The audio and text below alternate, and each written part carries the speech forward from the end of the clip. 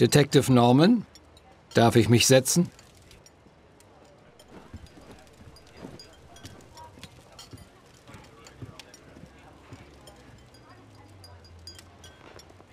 Ich bin spät dran, aber ich wollte nicht gesehen werden. Sie wissen, was ich meine. Was kann ich Ihnen bringen, Nur einen Sir? Kaffee. Kommt sofort. Mit Leuten wie Ihnen gebe ich mich sonst nicht ab. Ich habe Ihnen ein Geschäft anzubieten, Detective. Ich bin kein Geschäftsmann. Und selbst wenn ich einer wäre, würde ich mit Ihnen keine machen. Ich mit Ihnen normalerweise auch nicht. Aber das hier ist ein Sonderfall. Gut für Sie und Ihre Vorgesetzten und gut für mich.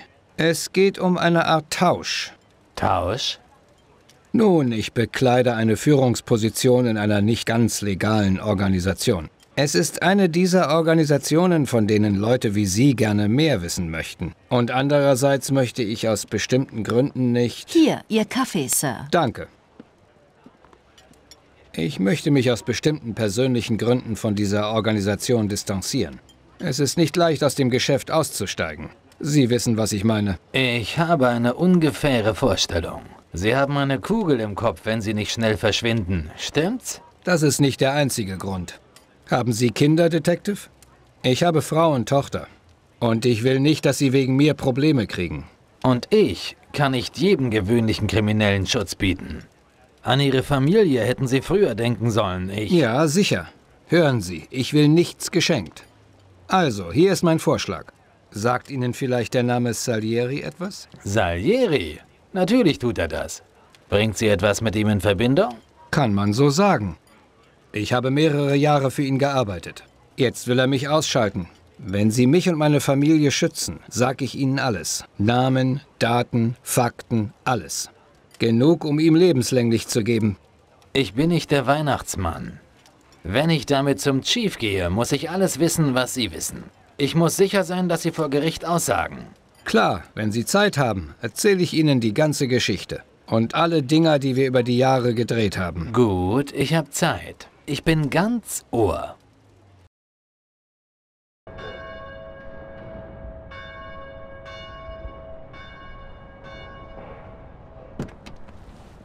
Ich war mal Taxifahrer. Ich mochte den Job, auch wenn ich nicht viel verdiente und von morgens bis abends arbeitete.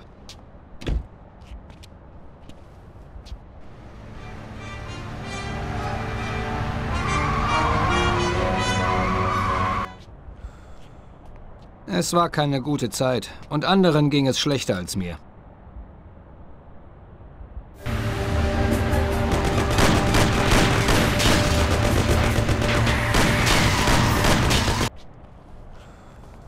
Durch das Taxifahren geriet ich überhaupt erst an Salieris Leute.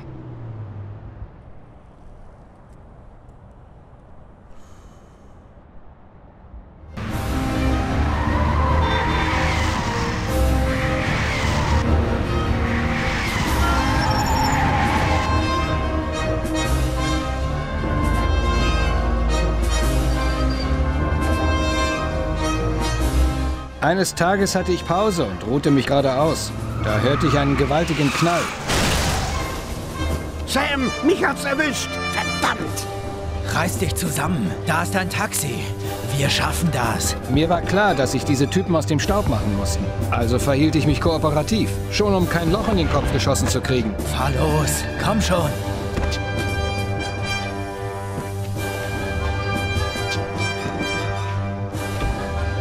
Wohin? Egal wohin.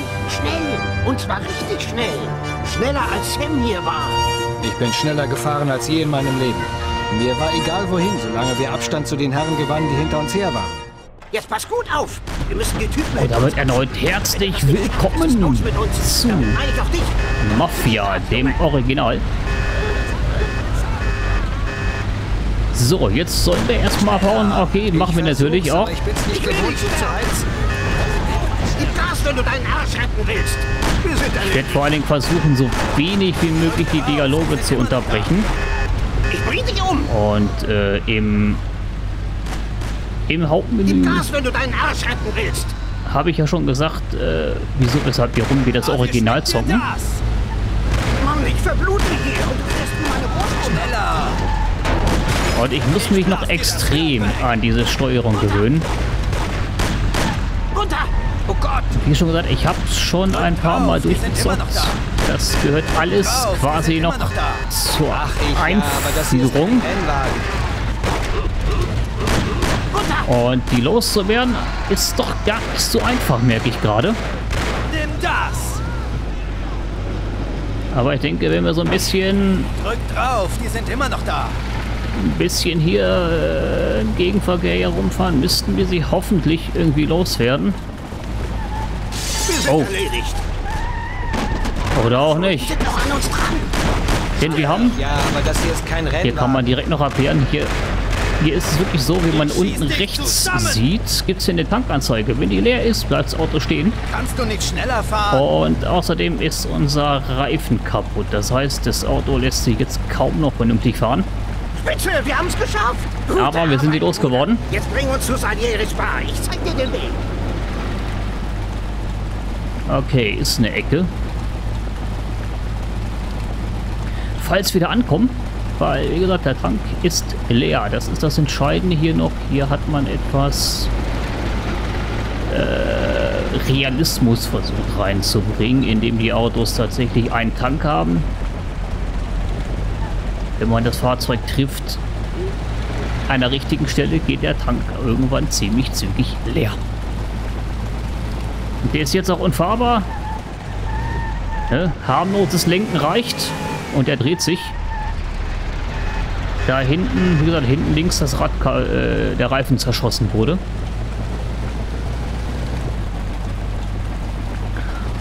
Und sollte ich ihm mit dem Intro angefangen haben, wie gesagt, dann nochmal herzlich willkommen zu dem Original Mafia. Wie man sieht, es ist schon ein paar Tage älter. Gehört für mich persönlich allerdings immer noch zu den besten Spielen aller Zeiten und in meiner persönlichen Top-Liste, ich würde sagen, irgendwo in den Top 10. Definitiv. Es gab selten ein, ein Action-Game mit einer derart guten Steuerung. Äh, Steuerung, Story. Die Steuerung ist extrem gewöhnungsbedürftig. Muss ich jetzt hier lang? Ja. Es gibt ja die Definitive Edition. Äh, jetzt könnte man natürlich sagen, äh, warum machst du nicht die? Ja, die mache ich auch noch. Nur ich habe von vielen, vielen Seiten schon gehört, die soll zwar optisch gut sein, soll sich relativ viel ans Original, also an dieses Spiel hier Fahren wir halten. nicht im Kreis? Nein, wir fahren nicht im Kreis. Wir fahren äh, einen gesonderten Weg. Äh, okay, geht nur den Gleisen folgen.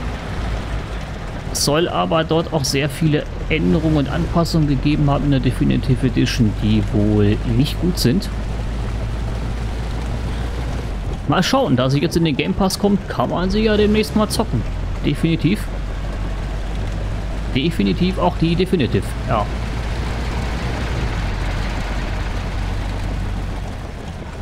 Und wenn so Fahrten wie diese hier irgendwann im Laufe des Spiels kommen, die, äh, wo nicht viel passiert, weil man muss sich hier wirklich an die Verkehrsregeln halten, aus bestimmten Gründen, werde ich wohl einmal zwischendurch noch erklären, weil wie gesagt, ich habe schon mal durchgezockt, werde ich Fahrten wie diese hier, bei denen dann nichts passiert, rausschneiden. Endlich sind wir zu Hause. Warte hier, Junge. Sam holt dir ein kleines Präsent von Mr. Salieri. Danke für deine Hilfe.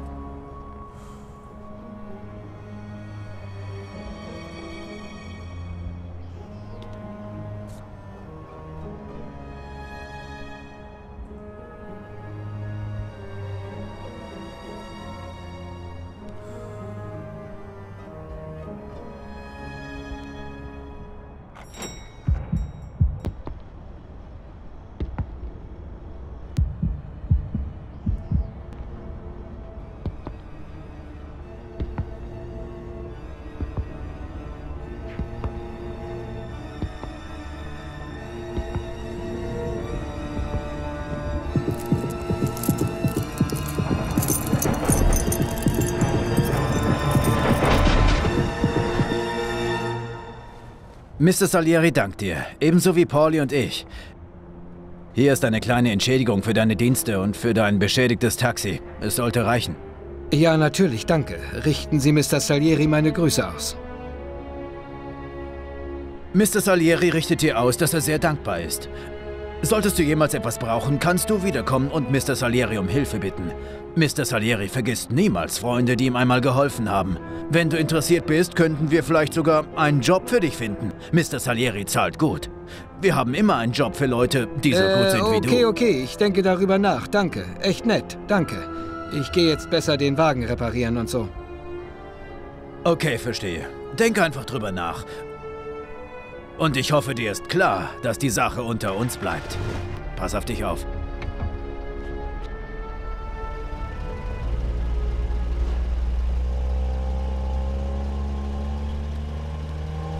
Als ich den Umschlag öffnete, bekam ich fast einen Herzanfall. Es war mehr, als die Reparaturen kosten würden.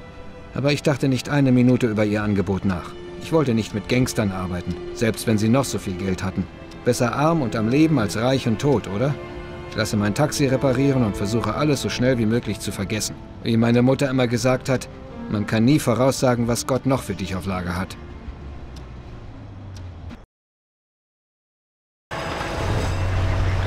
Okay. Ich bitte zur Kirche nach Downtown. Okay, okay. So.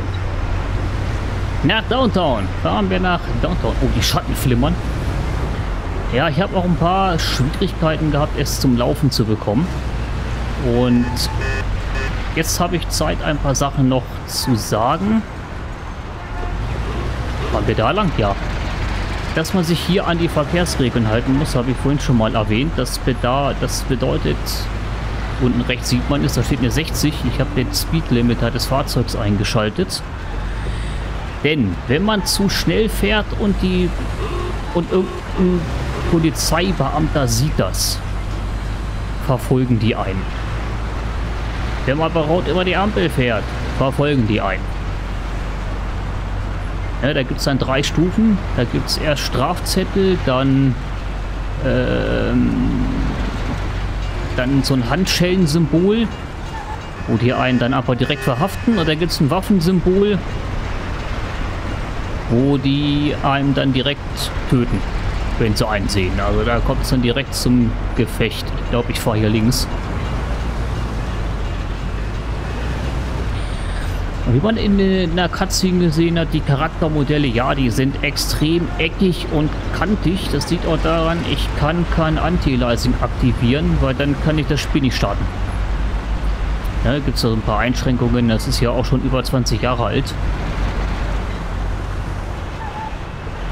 Und deswegen, wenn dann solche Fahrten anstehen wie diese hier, im späteren Verlauf des Spiels werde ich die, äh, wenn da nichts passiert, natürlich Okay, rausschneiden. Hier an der Treppe, bitte. An der Treppe, natürlich. Dann raus zu Lappen. Danke, hier ist das Geld. Aber das hier gehört alles quasi noch zur Spieleinführung. Sie frei? Ich muss zum Krankenhaus in Newark. Kein Problem. Weil im Endeffekt gehen wir ja jetzt einfach nur unserem Job nach. Oh. Sollte vielleicht hier drehen, oder?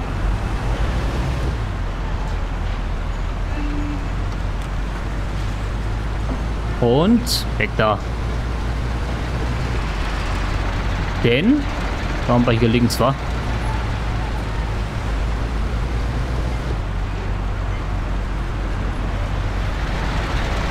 Bin noch überlegen, ob ich das hier vielleicht auch rausschneiden sollte, aber ich denke, das sollte drin bleiben. Denn wir sind hier einfach nur Taxifahrer.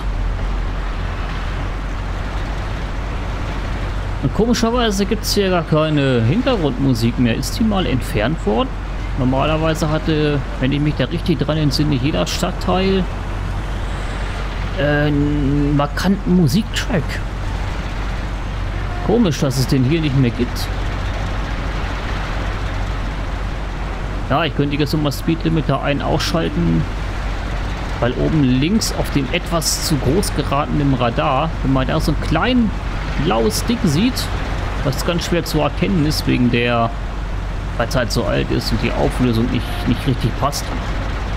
Kaum zu sehen ist so ein kleines, ein kleiner blauer Strich da oben. Das ist ein Streifenwagen.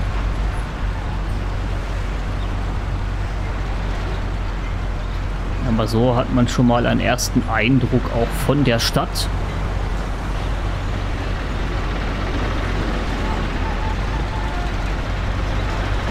Und ja, die Einführung am Anfang war extrem lang. Wir sind jetzt schon mal knapp über 20 Minuten. Hier ist es. Fahren Sie zum Eingang bitte. Denn dieses Spiel ist extrem storylastig. Danke, hier ist Ihr Geld.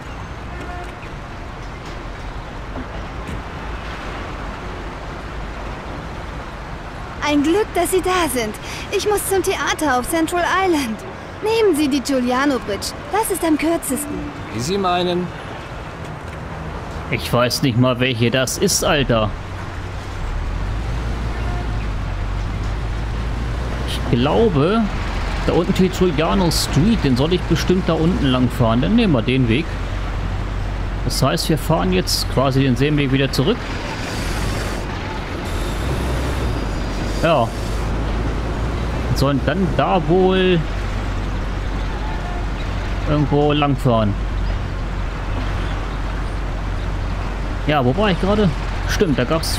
Jeder Stadtteil hatte so einen eigenen markanten Musiktrack. Ist das hier am Anfang noch nicht gegeben oder wurden die mal vielleicht aus Lizenzgründen entfernt? Das kann natürlich sein.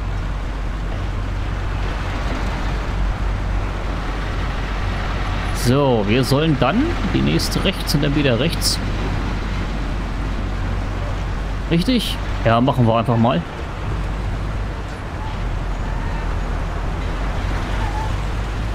Mann, das Ding steuert ja wie so ein Ziegelstein, ey. Autofahren, ein Fahrzeug steuern mit WSAD. Ja, lange nicht mehr gemacht. Ja, das soll die wohl sein. Okay, weil da unten ist das Ziel. Alle Fahrzeuge haben zwar keine echten Namen, sind allerdings originalgetreu äh, nachgestellt worden. Ja, vom Ford Modell T und so weiter, weil das Ganze ist in den 30er Jahren angesiedelt.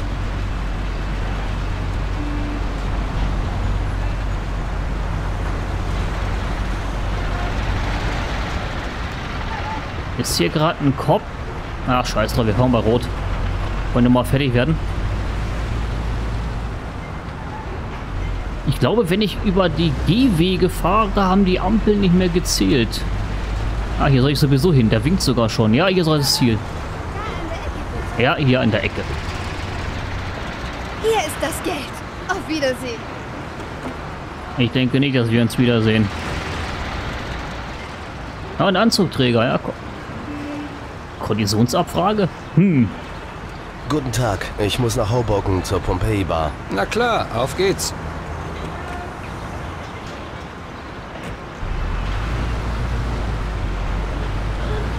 Ach, wir sollen wieder, wieder zurück. Also fahren wir jetzt wieder über diese Brücke?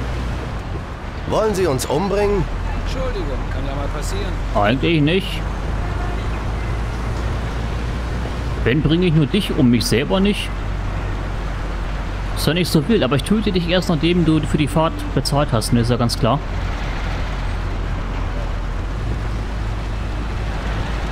Da muss ich mich mal informieren, ob die wirklich die Soundtracks entfernt haben oder ob die irgendwann wiederkommen, weil das waren wirklich so Oldschool-Tracks wie aus den 30ern. Die halt auch, wo muss ich denn lang? Ganz am Ende links rum und dann nach rechts. Okay, kriegen wir hin. Und dementsprechend wird die erste Folge wahrscheinlich auch sehr lang werden. Weil wir wollen ja auch noch immerhin ein bisschen was erleben. Wir fahren ja aber rot, egal.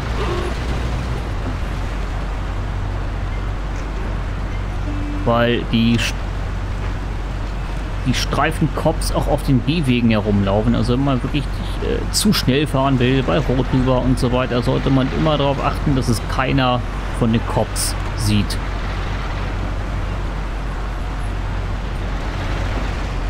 werde ich vielleicht irgendwann zwischendurch mal demonstrieren oder so, weil ich glaube, ich hatte es erwähnt. Ich habe es schon mal durchgezockt, nicht nur einmal.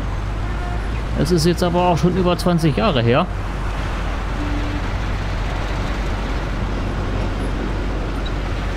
Dementsprechend äh, ist es so se semi-blind.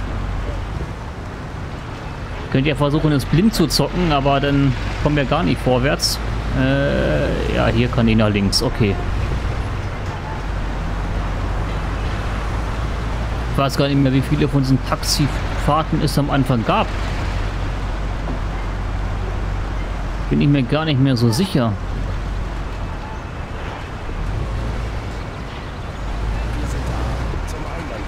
Zum Eingang.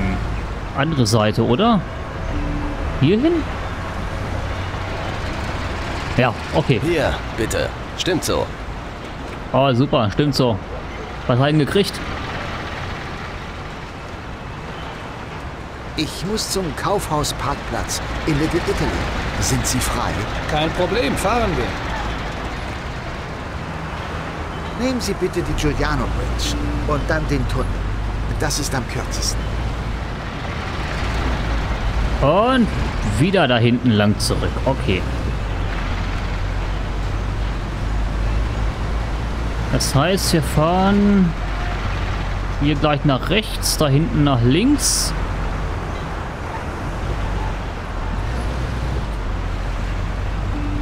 Ja, links und dann wieder links. Okay. So, was könnte ich noch kurz sagen? Genau, das Ganze ist extrem storylastig.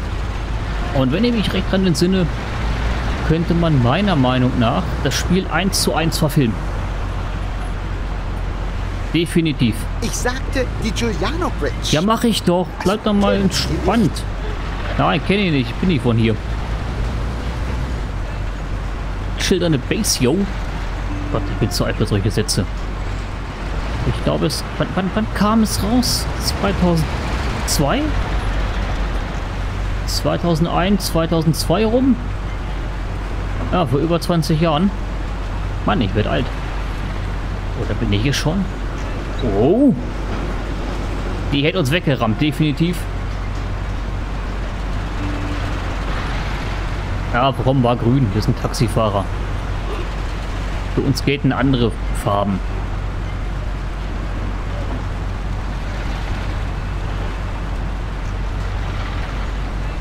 Ja, ich würde auch gern schneller fahren, aber ich darf es halt nicht. Ich könnte es zwischendurch mal machen, aber ich kenne mein Glück. Genau dann sind wir dran. Und ich kann mir vorstellen, dass die Entwickler das gemacht haben, um ja, ich weiß nicht, Spielzeit zu strecken, glaube ich nicht, sondern um es ein bisschen authentischer zu machen.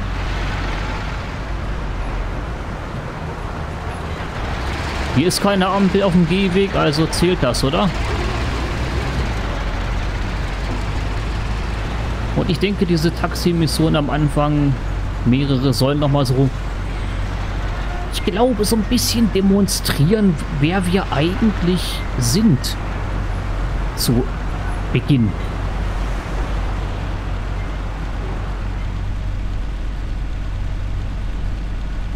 Ich vermisse trotzdem die Musik und so wie es aussieht, wird Folge 1 wahrscheinlich um die 40, 45 Minuten gehen.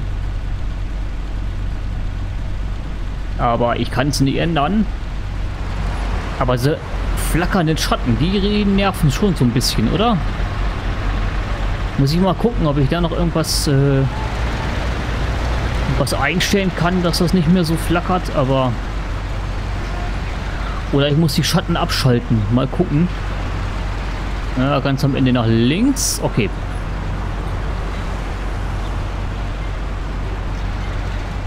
Weil das ist schon ein bisschen nervig.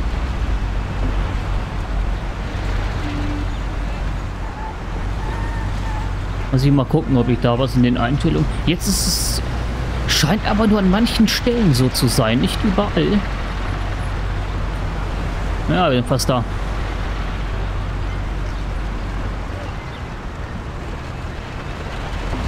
Okay, hier durch und dann zum Parkplatz. Okay. Ach, perfekt geparkt. Das müsste reichen. Stimmt so. Perfekt geparkt. Und ich brauche eine Pause. Ich trank einen Kaffee und ruhte mich im Taxi aus, während ich auf neue Kundschaft wartete. Ich war ganz in der Nähe von Salieris Bar.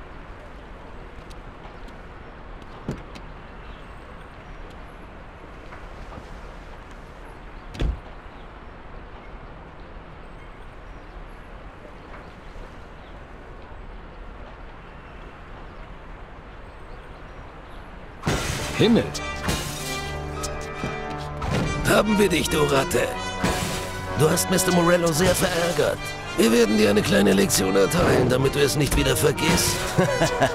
Diese Schweine hatten sich mein Nummernschild gemerkt und sich auf die Suche nach mir gemacht. Louis wird sich deiner Visage annehmen.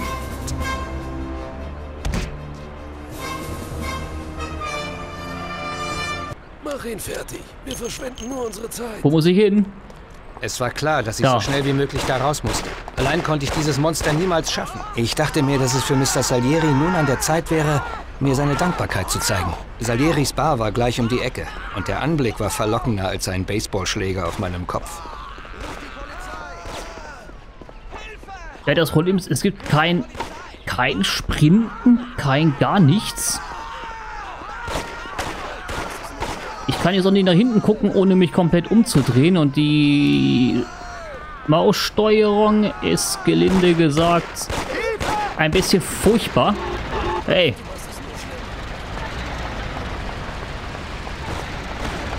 Aber wir sollen einfach nur abhauen. Das kriegen wir vielleicht hin.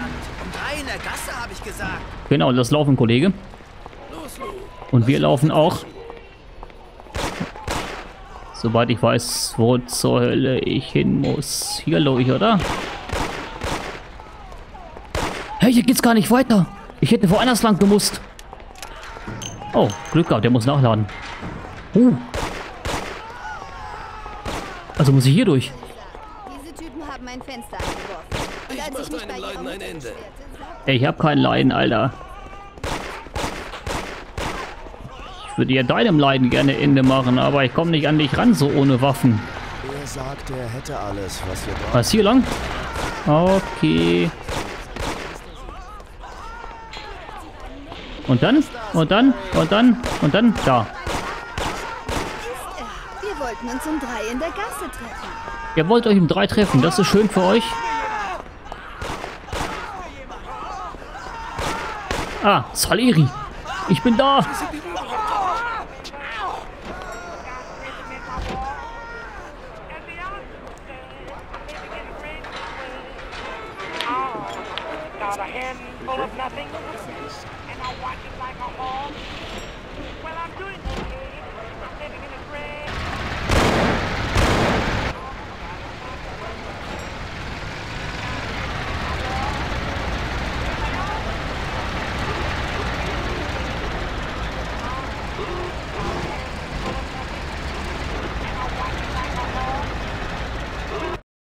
Salieris Jungs kamen mir zu Hilfe, aber ich war in keiner beneidenswerten Lage.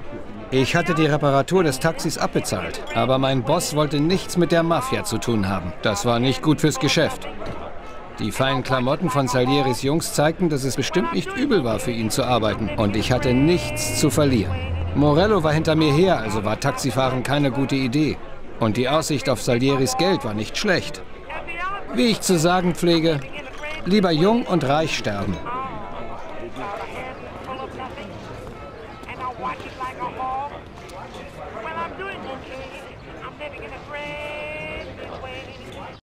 Also, Morello will mich wohl so richtig wütend machen. Aber ich bin ein geduldiger Mensch. Wie heißt du, mein Sohn? Thomas Angelo. Ich werde dir eine Chance geben, Tommy. Ich mag neue Leute. Wir sind hier eine große Familie. Paulie und Sam kennst du ja schon. Frank hier ist meine rechte Hand und kümmert sich ums Rechtliche in unserem Geschäft. Der hinter der Theke heißt Luigi. Das Geschäft schlägt oft auf den Magen, aber Luigi ist ein Spitzenkoch. Paul stellt dir noch Vincenzo und Ralph vor. Wir sind viele. Aber das sollte vorerst reichen. Und jetzt hör mal genau zu. Wir haben hier ein paar Regeln. Leg dich nicht mit den Bullen an. Wir bezahlen sie gut und sie lassen uns in Ruhe. Aber wenn du zu weit gehst, machen sie dich fertig. Auch wenn sie korrupt sind. Wenn sie dich einbuchten, hältst du den Mund und ich helfe dir. Ich bin gut zu denen, die mir helfen. Und die, die das nicht tun, leben nicht sehr lang. Capisce? Ja, Mr. Salieri. Das freut mich. Heute gebe ich dir die Chance, es den Schweinen heimzuzahlen, die dein Taxi ruiniert haben. Mal sehen, was du so drauf hast. Morello hat eine Bar. All seine Gorillas gehen dahin. Alle Autos parken hinter dem Zaun, neben der Bar. Wenn du gut bist, stehen die morgen früh nicht mehr da. Polly kommt mit dir, nur für den Fall. Bei Vincenzo kriegst du die Ausrüstung und bei Ralph ein Auto.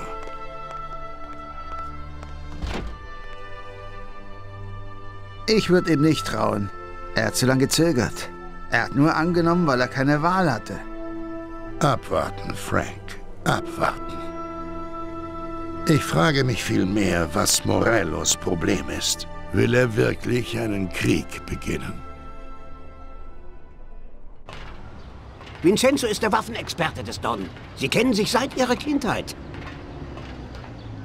Er besorgt dir, was du brauchst. Von der MP bis zur Kanone. Winnie hat einfach alles. Ich gehe vor einem Job immer bei ihm vorbei. Buongiorno, Vincenzo. Ciao, Pauli. Das hier ist Tom. Ist gerade bei uns eingestiegen. Schön, dich kennenzulernen, Tom. Was kann ich für euch beide tun? Wir haben einen Job zu erledigen. Wir brauchen was, um ein paar Autos zu verschrotten. Dieses klassisch schlichte Sportgerät sollte reichen. Und falls nicht, habe ich noch ein paar Cocktails gemixt.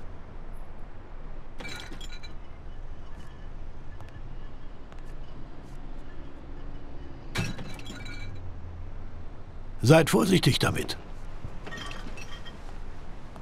Vielen Dank, Vincenzo. Bring den Schläger zurück. Gehört meinem Neffen. Na klar.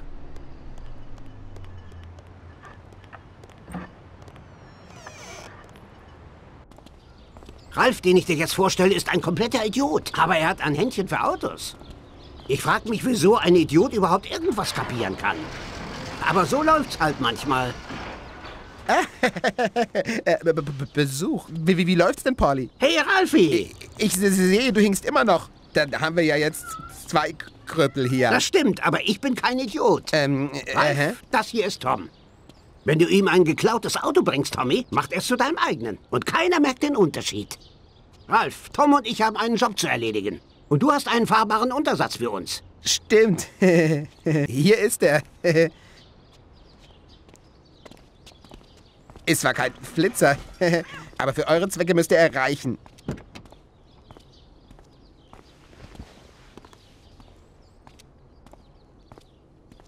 Danke, Ralfi. Los geht's. Fahr zu Morellos Bar und zerstöre die auf dem Hinterhof geparkten Autos. Aha.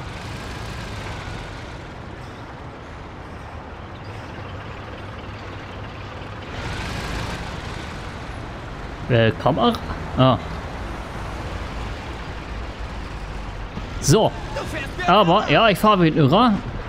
So, aber nach dieser sehr, äh, wie soll ich sagen, langgezogenen ersten Folge, wo halt noch nicht viel passiert ist, sondern die ganze Vorabgeschichte gezeigt wurde, sollen wir ja jetzt die Taxis dort zerstören. Oder Taxis oder Autos, wie auch immer. Aber das machen wir wegen der langen Folge erst beim nächsten Mal. Und dann wird doch endlich mal was abgehen. Bis denn dann und ciao.